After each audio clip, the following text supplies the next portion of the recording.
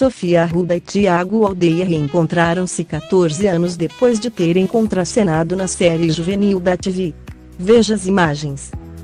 A televisão juntou-os em 2003 e o teatro voltou a reuni-los em 2017. Tiago Aldeia e Sofia Arruda voltam, 14 anos depois, a trabalhar juntos.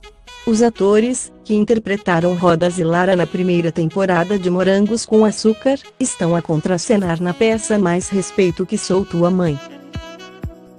Tiago e Sofia publicaram uma fotografia nas redes sociais, na pele das personagens da peça protagonizada por Joaquim Monchique.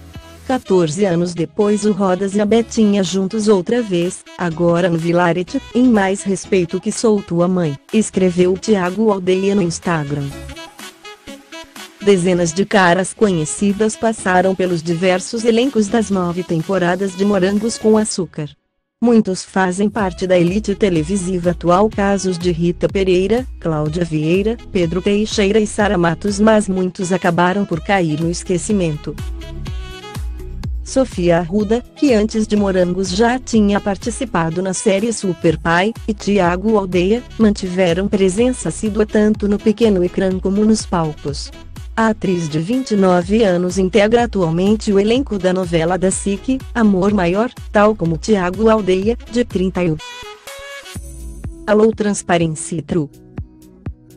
Alô Transparency True. Alô Transparency True.